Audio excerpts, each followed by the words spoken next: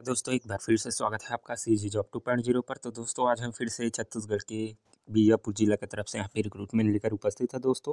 तो यहाँ पर यह जो वैकेंसी है, कार्यालय जिला खनिज संस्थान न्यास की तरफ़ से निकल के आ रहा है दोस्तों, जिसमें कि आठवीं पास कैंडिडेट और स्नातक उत्तीर्ण कैंडिडेट के लिए यहाँ पे वैकेंसी निकल के आ रहा है। तो देखेंगे आज के इस वीडियो में पूरी जानकारी। तो वीडियो पर लास्ट तक ज़रूर से बने रहिए दोस्तों, पूरी जानकारी प्राप्त कीजिए और यहाँ से किस प्रकार से आपको आवेदन करना है, पूरी जानकारी जो है आपको आज के इस वीडियो में जानकारी प्राप्त हो जाएगा दोस्तों। साथ ही अगर आप एकलव्य विद्यालय में टीचर्स की वैकेंसी के बारे में नहीं जानते हैं तो उसका वीडियोज़ मैंने कल बना दिया है दोस्तों। साथ ही हॉस्टल वार्डन की वैकेंसी भी साथ में जारी किया गया है। उसके बाद दो है, दोस्तों, इसमें बीजापुर की तरफ़ से जो है दसवीं पास कैंडिडेट के लिए, यहाँ पे सिक्योरिटी गार्ड के लिए भी वैकेंसी के लिए जो है प्रशिक्षण दुर्ग में होने वाला है। उसके संबंध में भी आप वहाँ पर जानकारी प्राप्त कर सकते हैं। साथ ही जो है मेडिकल में जो है यहाँ पे दो सौ पदों की वैकेंसी के बारे में भी मैंने जानकारी पूरा डिटेल में दिया है दोस्तों, जिसका वीडियो का लिंक आपको आई बटन पे मिल जाएगा। साथ ही आप हमारे अबाउट सेक्शन में जाकर उस वीडियो को चेकआउट कर सकते हैं। लिंक डिस्क्रिप्शन में मैंने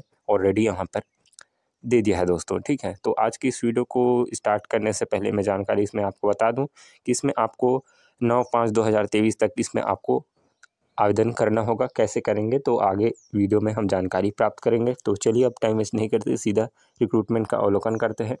तो जैसा कि आप देख रहे हैं यहाँ पे, लेखापाल और भृत्य की वैकेंसी यहाँ पे जारी हुआ है दोस्तों, जिसमें कि एक मुश्त मानदेय की बात करें तो लेखापाल के लिए आपको अट्ठारह हज़ार चार सौ बीस रुपया दिया जाएगा, भृत्य के लिए ग्यारह हज़ार तीन सौ साठ रुपया इसमें वेतन आपको दिया जाएगा।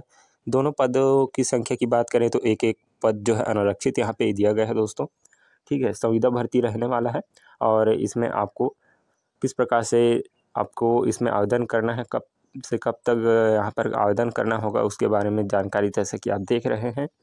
तो इसके हम शैक्षणिक योग्यता की बात करें तो चयन प्रक्रिया सबसे पहले यहाँ पे दिया गया है, उसके बारे में देख लेते हैं। तो इसमें जो है यहाँ पे अहर्ता भी दिया गया है कि चयन प्रक्रिया इसमें आपके जो है शैक्षणिक योग्यता में मेरिट के आधार पर लिया जाएगा। यानी कि आपके शैक्षणिक योग्यता में जितने प्राप्तांक है, उसके आधार पर आपका मेरिट लिस्ट इसमें बनाया जाएगा और उसी के आधार पर आपका इसमें चयन लिया जाएगा दोस्तों। अहर्ता की बात करें तो इसमें बी कॉम न्यूनतम पचास परसेंट के साथ उत्तीर्ण इसमें मांगा गया है। उपलब्ध नहीं होने की स्थिति में जो है सेवानिवृत्त लेखापाल एवं लेखा परीक्षा उत्तीर्ण कैंडिडेट को जो है सहायक ग्रेड वन के हिसाब से जो है संविदा से इसमें लिया जाएगा दोस्तों। लेकिन जो कैंडिडेट इसमें फ्रेशर है वो तो आवेदन ज़रूर करिए क्योंकि इसमें फ्रेशर कैंडिडेट को सबसे पहले प्राथमिकता दिया जाएगा। उपलब्ध नहीं होने की स्थिति में जो है संविदा से इसमें लिया जाएगा दोस्तों, सहायक ग्रेड वन के हिसाब से। अब बात करें अनुभव की तो इसमें जो है पाँच वर्ष का लेखा, सेवा कार्य का अनुभव एवं लेखा परीक्षा उत्तीर्ण होना आवश्यक है।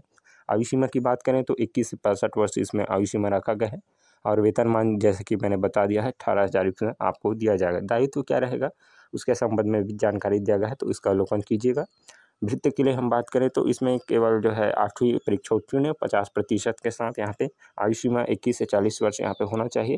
ठीक है, इसमें भी मेरिट के आधार पर चयन होगा दोस्तों। तो आप आवेदन करते समय जो है, आवेदक छत्तीसगढ़ राज्य का मूल निवासी होना चाहिए, चाहे आप किसी भी ज़िले से हो, इसके लिए एलिजिबल रहेंगे। सक्षम प्राधिकारी द्वारा जारी निवास प्रमाण पत्र आपको इसमें अटैच करना होगा। सेल्फ अटेस्टेड ज़रूर कीजिएगा। और लेखापाल पद हेतु पात्र अभ्यर्थियों की कंप्यूटर एवं टेली के ज्ञान के संबंध में इसमें कौशल परीक्षा लिया जाएगा। ठीक है? तो निर्धारित प्रारूप में आपको इसमें आवेदन प्रस्तुत करना होगा। आवेदन का फॉर्मेट मैं अभी आपको दिखाऊँगा। और याद रखें, जितने भी डॉक्यूमेंट आप अटैच करेंगे, उसको सेल्फ अटेस्टेड ज़रूर करना है। आयु संबंधी प्रमाण पत्र के लिए आपको हाई स्कूल हायर सेकेंडरी या फिर मेट्रिकुलेशन सर्टिफिकेट अटैच करना होगा और भृत्य के लिए पाँचवीं का अंक सूची आपको अटैच करना होगा, ठीक है? और आवेदक का रोज़गार कार्यालय में जीवित पंजीयन होना चाहिए। ठीक है आवेदन पत्र निर्धारित प्रारूप में ए फोर साइज़ के पेपर पर आपको इसमें आवेदन करना होगा। लिफाफे के ऊपर आवेदित पद का नाम स्पष्ट रूप से आपको उल्लेखित करना होगा और साथ में इसमें आपका जो है एड्रेस लिखा हुआ, पूर्ण पता लिखा हुआ, इसके अतिरिक्त आवेदन पत्र के साथ पाँच रुपये का डाक टिकट, जिसमें कि आपका पूरा एड्रेस लिखा होना चाहिए। दो दो लिफाफा आपको अलग से उसमें अटैच करना होगा दोस्तों, ठीक है।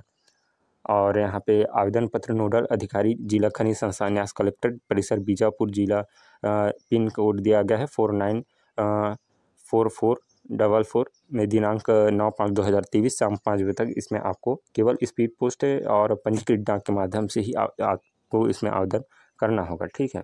तो इस संबंध में जानकारी दिया गया है दोस्तों। इसका पीडीएफ का डाउनलोड लिंक आपको हमारे टेलीग्राम चैनल, लिंक डिस्क्रिप्शन में दिया गया है। वहाँ से आप डाउनलोड कर सकते हैं। ये रहा आवेदन का प्रारूप।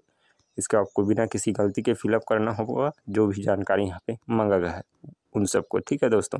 तो एक यही अपडेट था, इसमें कोई डाउट होगा तो कमेंट कीजिएगा दोस्तों। मिलते हैं नए वीडियो में, नए जानकारी के साथ। धन्यवाद दोस्तों।